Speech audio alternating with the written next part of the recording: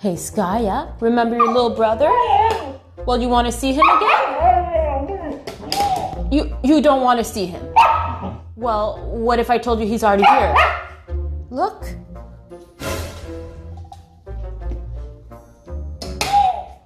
What? Oh, you don't. Skaya? Can't you be friends?